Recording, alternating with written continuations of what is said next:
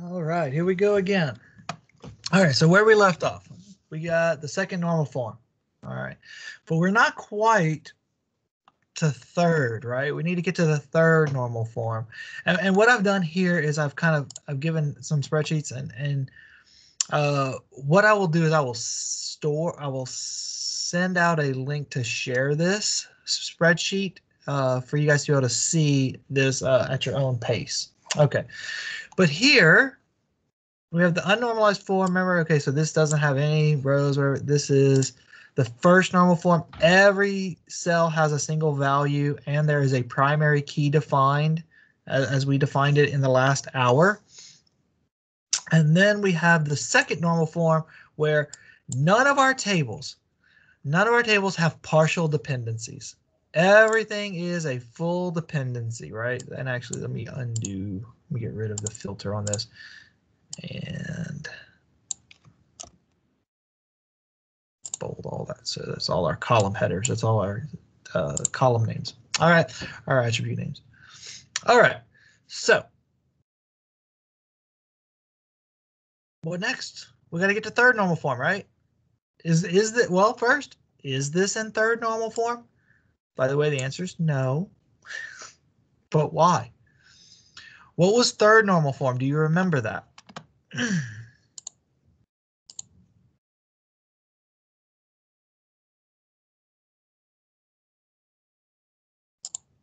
Let's take a look. Yeah, transitive dependency. What's a transitive dependency? Anytime that there's some other intermediate column. So if we think transitive dependencies are kind of like that partial dependency, but instead of being dependent on a part of the primary key, they're dependent on some other column in the table. Okay, so obviously this cannot be, this cannot have a transitive dependency, right? There's no A determines B determines C here, right? Because there's no C, there's only two columns. Same thing here, right? D determines E, but there is no other column that it could uh, be dependent on. All right, so the fact that I tell you that there is a transitive dependency somewhere here suggests that it must be in this app info table, all right? So what do you think? Where do you think there is a transitive dependency going on here?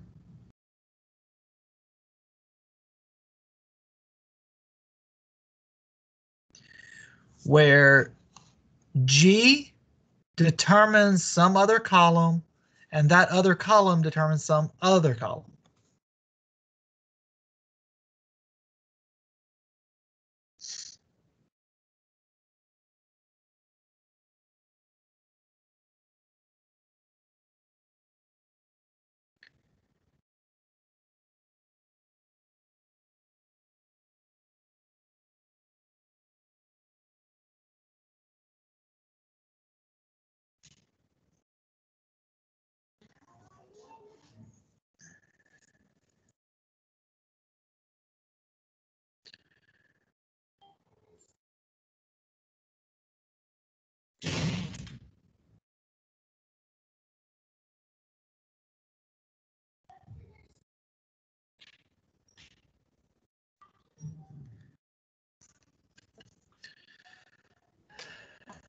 Anyone?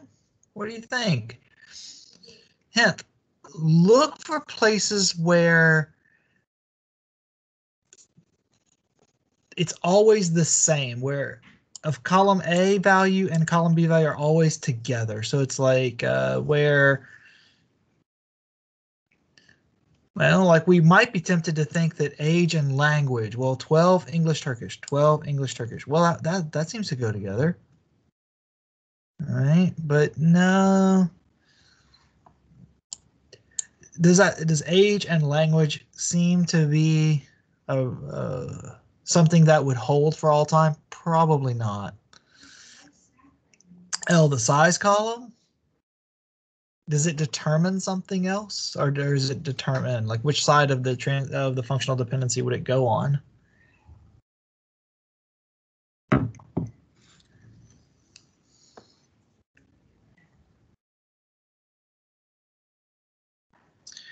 Right. developer ID and developer name. One one easy way to sometimes tell is what remember what we're trying to do is we're trying to say, okay, where are there places that we could store one column in our main table? So like for example, when we go back to this first normal form to second normal form, we wanted to store the app name only, but still have access to all this other data without duplicating it. Same thing with the username. We want to store the username once and have access to their email without having to store their email multiple times. So that's what we're trying to do here as well. So we're trying to say, let's store in our app info table developer information, but let's store one column, one of these two columns, right? But still have access to that information by putting it the access to the other column by putting it in a separate table. Okay, uh, let me duplicate this because we're about to change this guy up.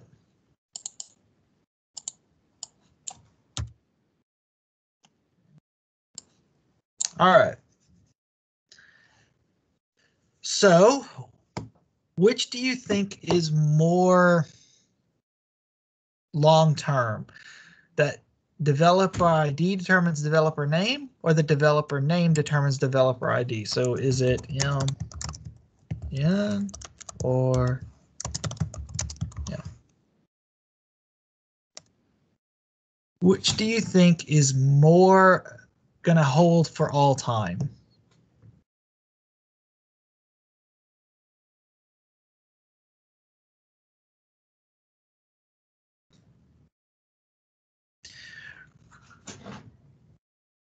Yes, I would agree with that as well. I would agree that it seems more accurate that developer ID determines developer name, right? Uh, so, by the way, Murat, you said yesterday you talked about creating the special uh, unique identifier. That's probably that's usually what goes on for a lot of situations, where even like over here, user information is probably going to not have a username or user email be the primary key. It'll probably have this some special user key. Same thing with the app because app name really isn't a solid good primary key long term because what if two people want to have the same app name, right? Uh, so we usually create a special key. Also, what we'll talk about later in a few weeks when we get there is going to be strings like this, especially long strings like this, do not make for good primary keys because it's hard to search. All right, but for this simple example and for your group project, this is fine. Okay, so but developer ID is probably some created key that they created. So what we'll do is we'll say, okay, I want to take this. I'm going to put it over here. Right. I'm going to take this out and I'm going to take uh, that and I'm going to take this out. Right. right, so now this becomes our third normal form. We got rid of that transitive dependency. And guess what? This, this queries for making that happen is pretty much the same thing, right? That now instead instead of um, it being a partial dependency, we're just getting rid of all columns that are the uh, right hand side of any transitive dependencies. So we need to create a developer table. All right. We only need two columns.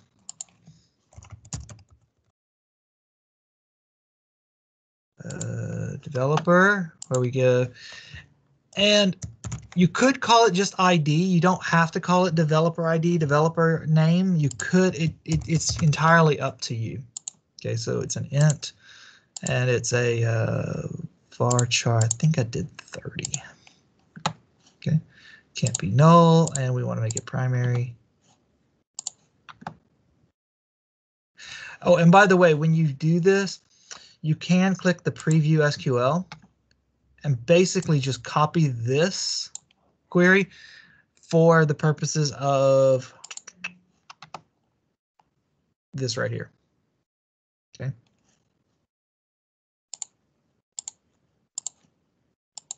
Assuming it's a correct, assuming it creates the table correctly. Okay. And then we want to insert into, right? We want to do that same thing as we've done before. Insert into uh, developer. Select distinct. Uh, this time now we want developer ID. Developer name. From but we're not selecting it from UNF, are we? Because if we do if we do UNF this time, it's going to give us an error, right?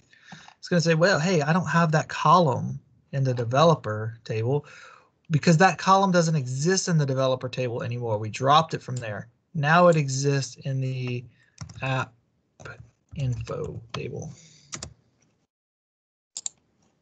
All right, so now we three rows inserted.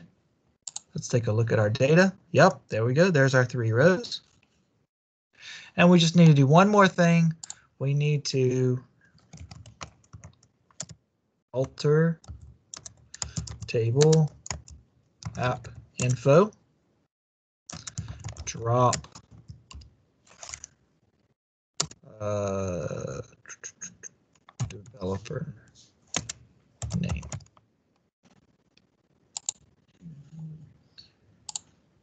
So now if we go back to the app info table and we look at its data, there's no developer name, but we still have the developer ID. So if we wanted to know who the developer name was for a certain game, we could still do that. We could say uh, select select app name developer. Let me do it this way. Let me give um, app info a developer d a app name d dot name. Where a dot developer id equals d dot id. All right. So if we want to see what the name was, there it is, right? Amazon, Amazon Mobile, Amazon Shopping, Amazon Among Us, Innersloth, Netflix. Netflix, that makes sense, right? So we were able to get back that same information as it was before, just like it was in here, right? By doing a join, by joining the two tables together through that foreign key primary key relationship. Okay. All right. So there, now we have we have walked through how to go from unnormalized all the way through our first and second normal form into third. So now we've taken this data set, we've gotten to here. Notice some of the savings of the space situation. So if I were to say, okay, I want to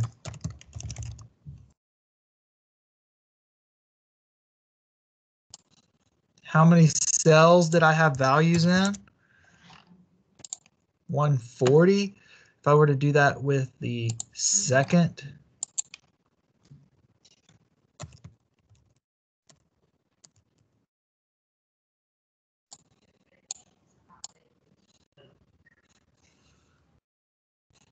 Oh, where was it?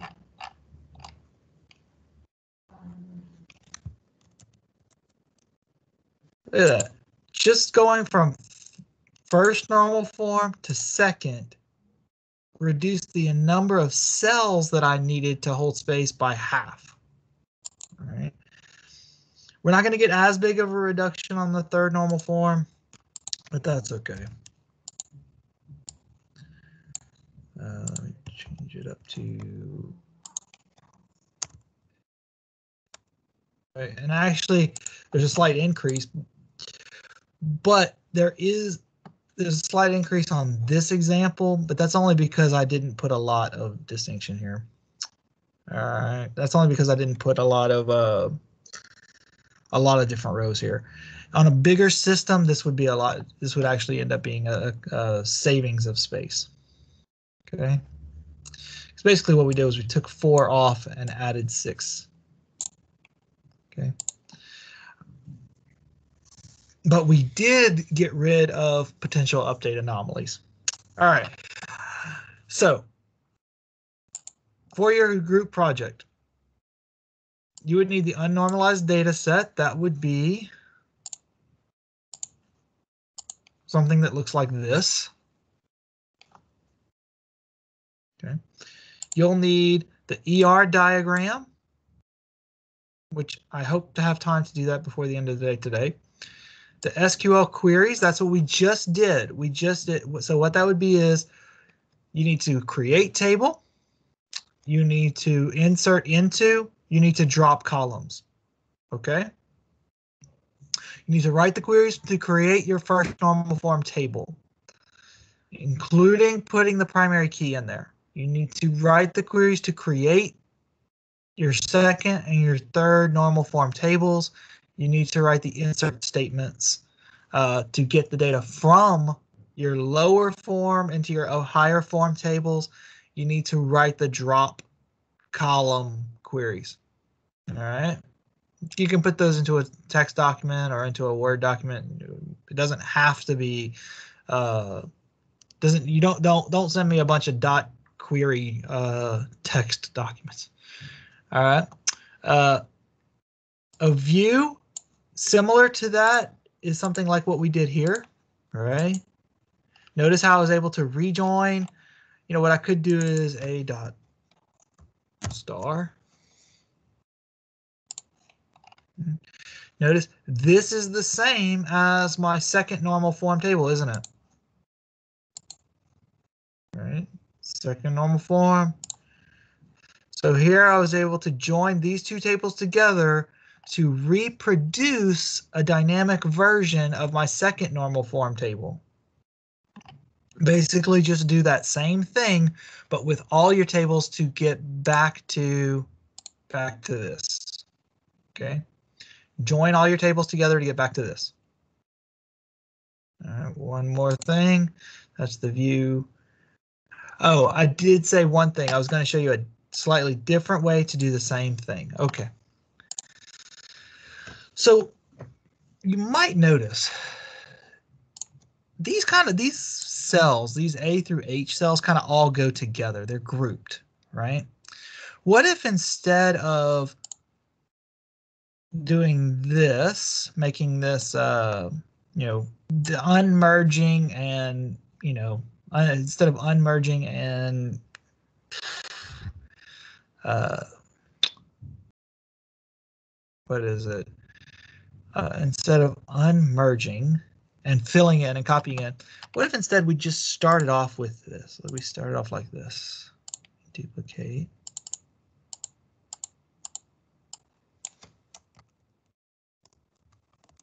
Okay. So what I'm going to do, let me see here. I'm going to take this.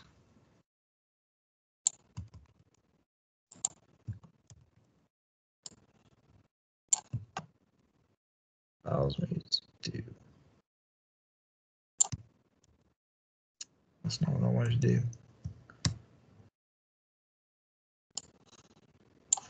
Uh, let's see. Okay.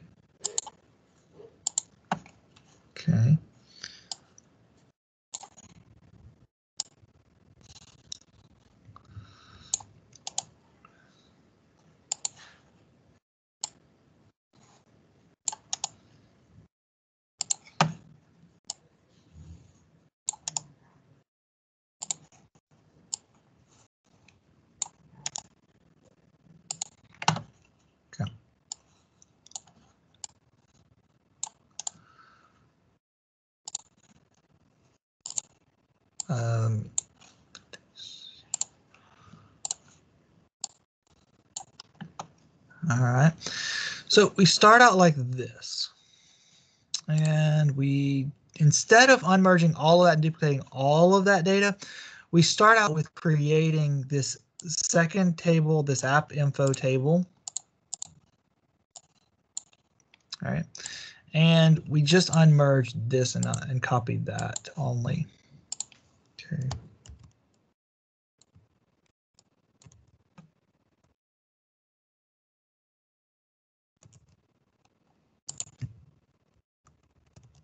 All right. So if we started out like this, so this, we did make uh, actually no. This is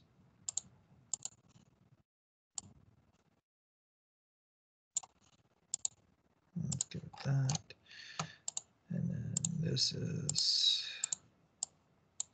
this guy. Okay.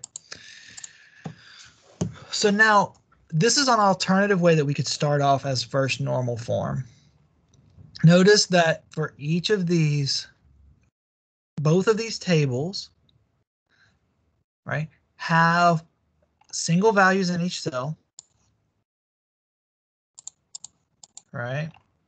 And there is a primary key defined for each. And all that we did was we said, let's take this stuff that seems to kind of go together, right? There's a grouping here.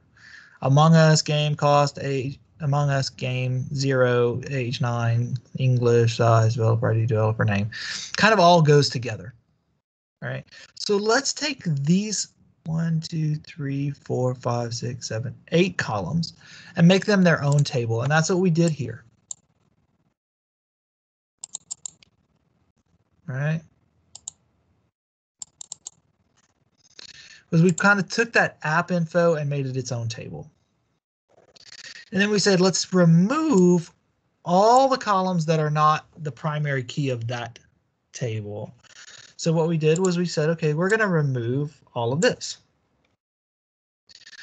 But we still need to keep this thing here. And we need to make sure that we separate it out. So Among Us goes here, Among Us goes here, so forth. Okay, so that's what we did by duplicating that. Right. So this is an alternative way that you could also have a first normal form starting point. Okay. So now notice that all of these are first normal form. They are not second normal form, right? Because here you do have a column that's dependent on part of the primary key. There is a partial dependency here between B and C. There's no partial dependency over here, but that doesn't mean it's third normal form just means that this table is already in second normal form to start with. And the same thing that we did before to get from first normal form to second normal form, we get rid of this partial dependency. And the way we would do that is by creating a user table. So notice the app info table just kind of comes along with us into second normal form. All right, so these are two different starting points for how we get from unnormalized to first normal form. Okay. Two different ways to get to first normal form. Second normal form will be the same for both. So both of these, once we apply the process for uh, getting rid of partial dependencies, we'll end up with the same second normal form setup which means we will also end up with the same third normal form as well. Okay. All right, so that's two different ways to get there. All right. Now, one final thing that you'll need for your group project. So we already get this, we already got this, we already got two, three, we got one, three, and four. Now we need an ER diagram. Okay. One thing that I use is I use diagrams.net. Uh, it's also uh, it used to be called uh, draw.io. It's an online uh, it's an online tool that's free. You could do it. You could also do it using PowerPoint. There's all kinds of ways that you can do this.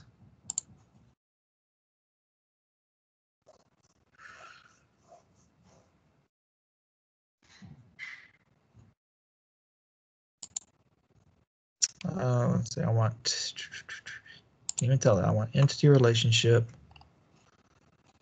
Uh, let's call it.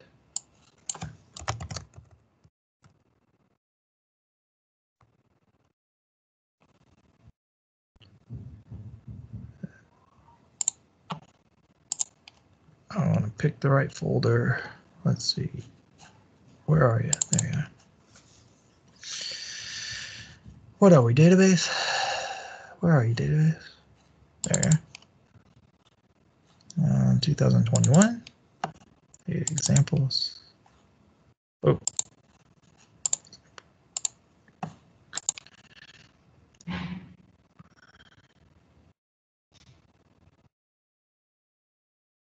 All right. Let's see. Let's get let's see. Let's get rid of this stuff here. So basically we need a an entity for every table we have. So we have four tables. Right? We need four entities, right?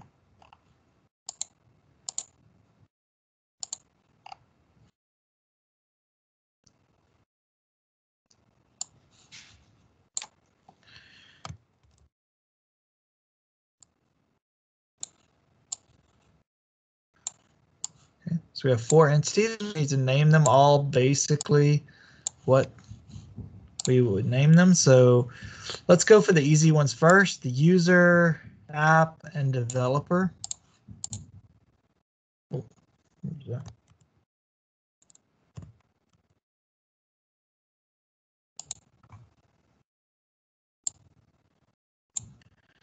that? Seems weird. What on What on earth are you doing over here?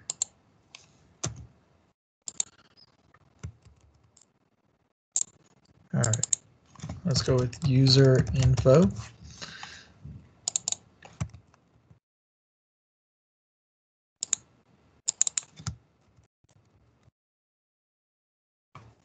Okay. And you could just name the attributes whatever they are.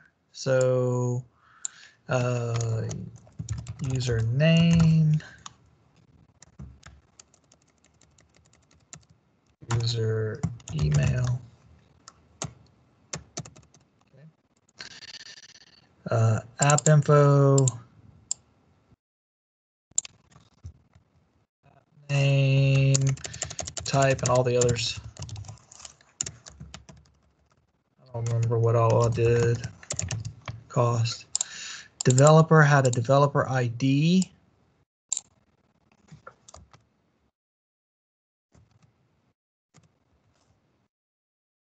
A name. Okay. And then finally, you would want to call this something that means something. So you could call it downloads because that's what it represents. You could call it the user app table because that it represents a combination between the two, right? And it would have the user name. Mm-hmm.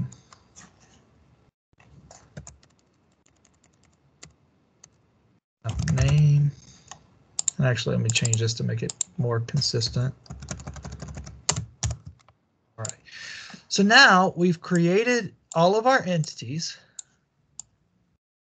but we forgot the R part, right? We don't have the R part set up yet. So we have an entity and we need a relationship. Well, how are the different entities related to each other? Right? How is the user Does there exist a relationship between the user and the app? Does any column in here point to a column in here? No.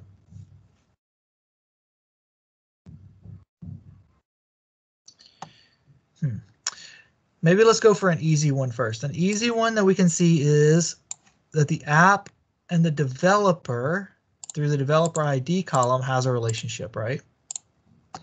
How is the app and the developer related to each other?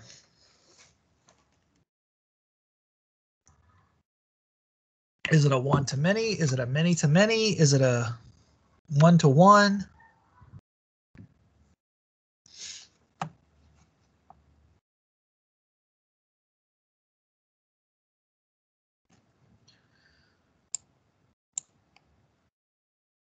Right, one to many, because one developer creates many apps in our, in our current example. So we do have a, let's see, not a zero to many. There's a one to many, but it's not the one I want.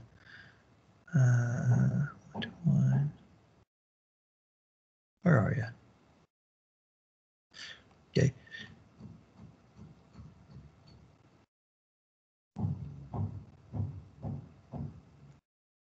So these symbols are important. I'm going to do this one. I'm going to do this one. I'm going to show you why in just a moment. Uh, come on, is there a way to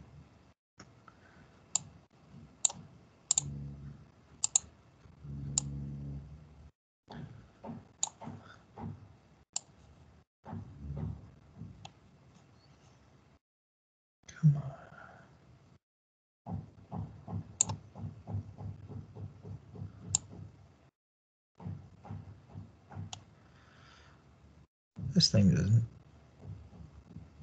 Not in, I'll put it on there. Well.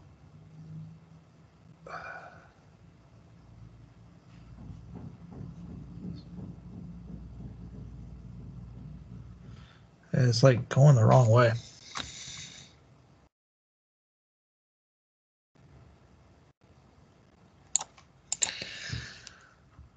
So weird. That's not what I want.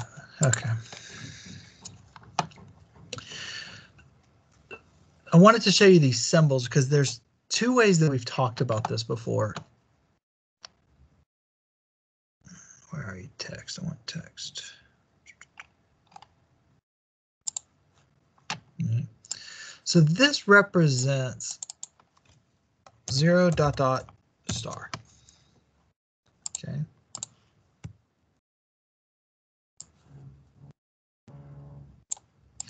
And this is one dot dot one or just one, either way. Okay. And remember what this meant was this means that if we have an app, we require they must have a developer. Okay, there must be a developer. An app must have only one developer. A developer can develop many apps or we can develop zero apps. We don't we can have a developer in our system that doesn't have any apps out there yet. I'm not sure why we would have that. right? but it could happen, I guess. But we could have a developer in our system that can have zero to many apps. If you wanted to say, no, no, no, I want to require that developers must have apps. Like we're not going to keep track of any developers that don't have any apps. Uh, we can change this side from a not required to a required many like that. And that would change it from zero to one like that. Okay. So that's what these symbol means. So we've talked about the numbers. There's also a symbolic way that we can show this as well. This line like this means required. This kind of a kind of a spread peace symbol kind of thing. This three prong thing means many. This line means required. This line that's closer to the um, entity means one. It's a one-sided relationship. It's a one relationship. Okay, that circle meant um, not required. Okay, so we got developer and app. Who else has relationships over here? What else has relationships?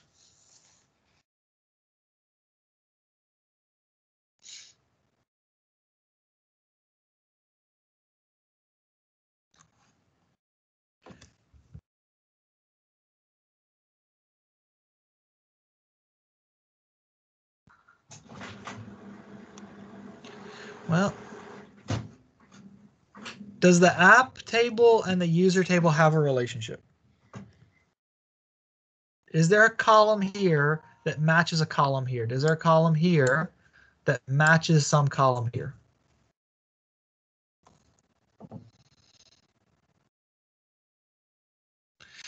No. So as far as the way that you might draw this, now, Suleiman, what we what you'll find out when we start talking in in let's see which logical design.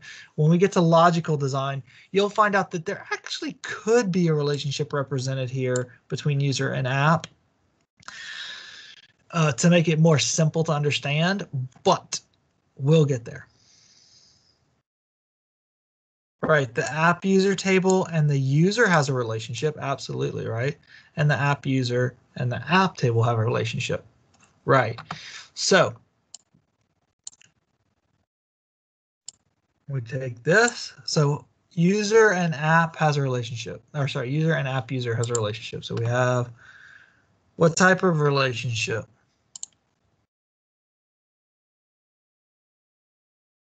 Okay. Yeah. Okay, so app user to user, how's that related?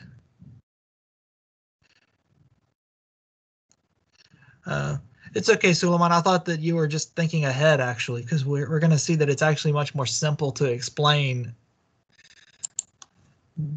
by actually taking this this entity out completely. But we'll see that we'll see that once we get to logical design. All right. So we know there's a relationship between user app and user info and user app and app info. But what type of relationship?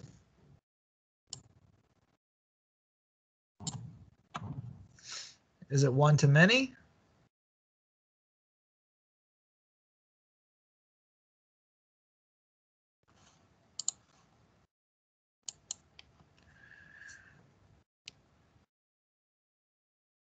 It okay? So it's many so many app in app user can have many users, right? So what you're thinking? So how does that work?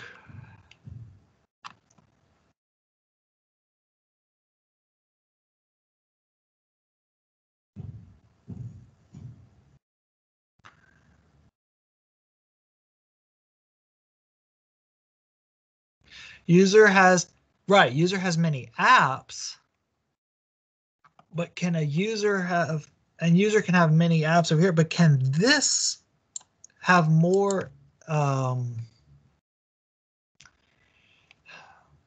how can we, how can we say this? Can when a user downloads an app, can that be more, can, I, can that be more than one user? It's, it's, it's hard, it's, it's a little bit difficult um, because of the way that we did this. Yeah, the app user can only point to one user, right? Because this can only be one user. This username cell can only have one user that it points to, right? So the way that we would do this is a user uh, app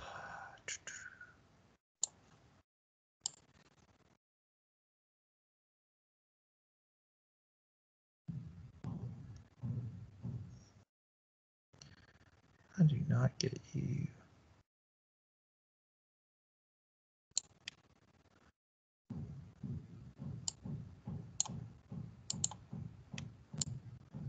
Guess I can't move it, man. This stinks.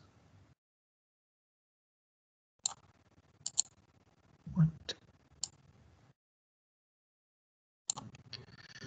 It does not. I do not like the way this thing is working today. It seems to be weird, weirding me out.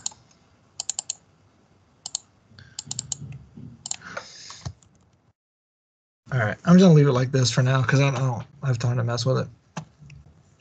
So a user can download many apps, sure, but a user app uh, representation where this represents a time that a user downloaded an app. Right. So it must have only one user associated with that. And it should also do the same thing.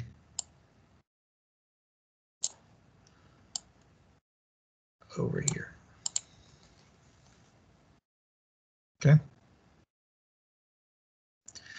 That a user app, which represents, so if we think about what this table represents, the user app, it represents a time that a user downloaded an app. One user downloaded one app. Now that same user could download another app. That's okay. And that same app could be downloaded by another user. That's okay. But each row in this table represents a time that a user downloaded one app. So one user downloaded one app. So that's why one user downloaded one app. Okay. We should definitely put the required on each side of that because if we have a user that downloads an app, we should have that user in our system. We should have that app in our system. We probably should not require that users download any apps, right? Because what if the user doesn't have any apps? That's okay. And we probably should also not require that an app be downloaded. Hmm. So this is, this would be an ER diagram. I'll download this uh, uh, PDF or ping rather, a PNG. You can export as a PNG.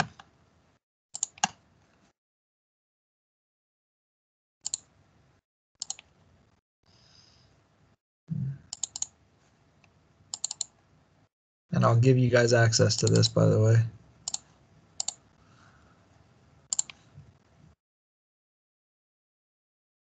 Okay. And as I said before, one thing that we'll see is that actually a better way to draw an ER diagram, a final ER diagram, would be to get rid of this table because really what does this represent? This represents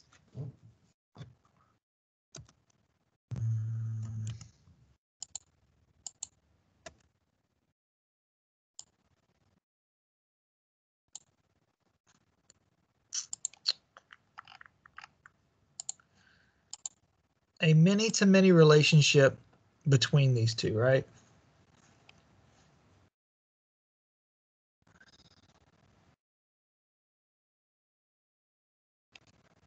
Right, exactly. That really what this user app table represents is a many to many relationship where users and apps have a uh, have a many to many style relationship where many users can download many apps. Right? And that's what we'll see when we talk about logical design. Okay. Well, I ran right up against the time today, guys. Sorry, I, I planned on this being an early day, but I guess not. So, yeah, are there any other questions about how to do this? So I've walked you through basically how to do all four items here. Okay. So you guys should be pretty set to go as far as how to do this. Now you just need to go out and actually get it done. All right. Are there any other questions? Or comments? So this would be a more understandable final ER diagram. All right. Well, have a good afternoon. Uh, next week we will talk about midterm because we got a midterm. Uh, we got a midterm um, date, tentative date going. So we'll talk about midterm expectations next week. All right. Thanks, guys. Have a good afternoon, and I'll see you on Monday.